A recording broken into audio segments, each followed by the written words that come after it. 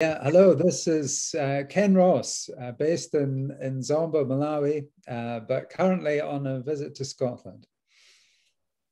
Wonderful. Thank you, Professor Ken Ross. It's lovely to welcome you. Thanks for making the time to chat to us. Um, the first question for you is What does Black History Month mean to you?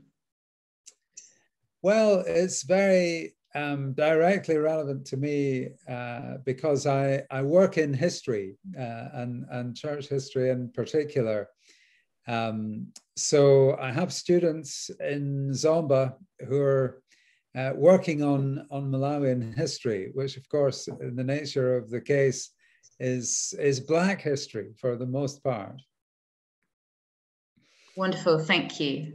Um, now, the second question for you is maybe in, in two parts. Um, how is Black History Month useful um, or important, we might say, and, and what does it mean specifically within the Scotland Malawi context? Okay, well, I think in in general terms, uh, the, there's there's been injustice and omission in the in the writing of history in the past. And I think having a month in the year where we're we're brought face to face with that is is a healthy thing. Otherwise, uh, th things can just drift. So I, I, welcome very much the fact that the month is there, and uh, in our Scotland Malawi uh, context, we we have a history uh, because this is not a new partnership.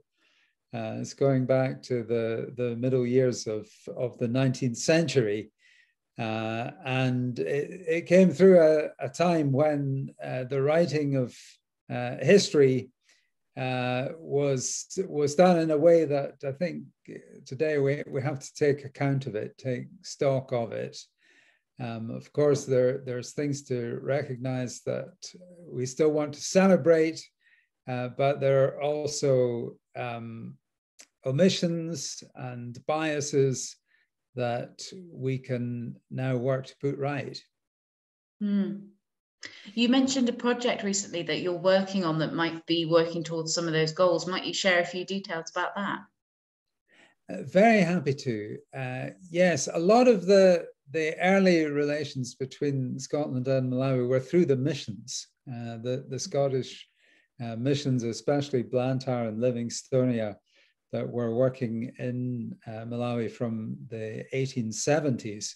Mm. And uh, right from the word go, there's, there's been terrific interaction be between Scots and Malawians.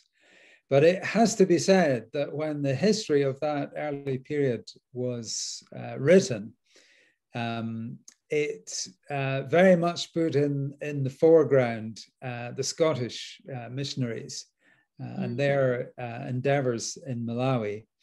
And it tended to overlook uh, the fact that in the in the building of these missions, which in many ways were the, the beginning of the Malawi nation, uh, there was a huge role played uh, by uh, Malawians.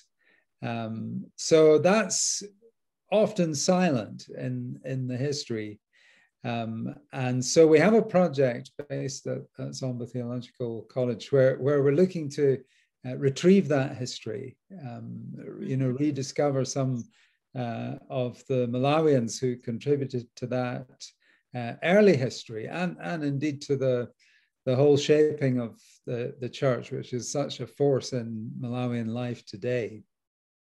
Mm. Fascinating. That sounds so interesting. Is there anywhere online that, um, if anyone would like to, they could find out more about that project, or perhaps it's it's a bit early for that, and maybe that'll be down the line? Or... Uh, exactly. It's early, but it, it will be coming uh, because we're looking through our project to, to publish in an online publication that's called the Dictionary of African Christian Biography, uh, which is an online mm. resource continent wide.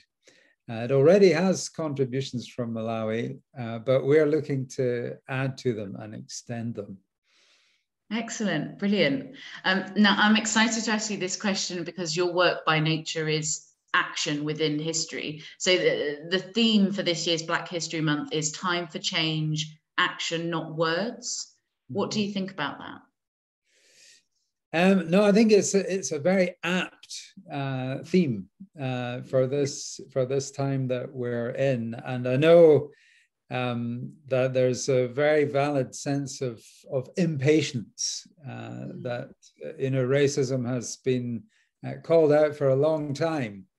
Mm. so there's been a lot of words, um, but action to put things right has seems to have been slower in coming. So I think it's a very uh, apt uh, theme and an apt uh, call. Um, I guess what we're doing in our project is, is lo looking to, uh, to build memory or to strengthen uh, memory uh, that can be inspiring for action today.